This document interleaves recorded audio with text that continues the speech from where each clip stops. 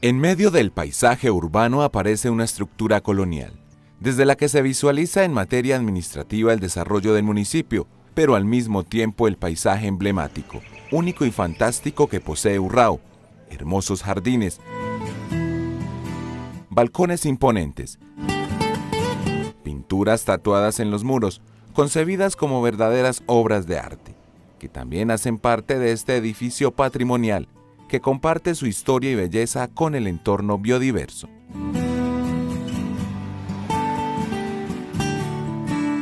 Pues sí, este entorno está vigilado por un maravilloso espacio natural, sembrado de majestuosos árboles y prados, que sirven como un tapiz al sorprendente lugar. Especies que además son el hogar y refugio de decenas de aves multicolores, que le dan un contraste romántico a este sitio. Allí descansan, se alimentan y sus cantos llenan de melodía cada rincón.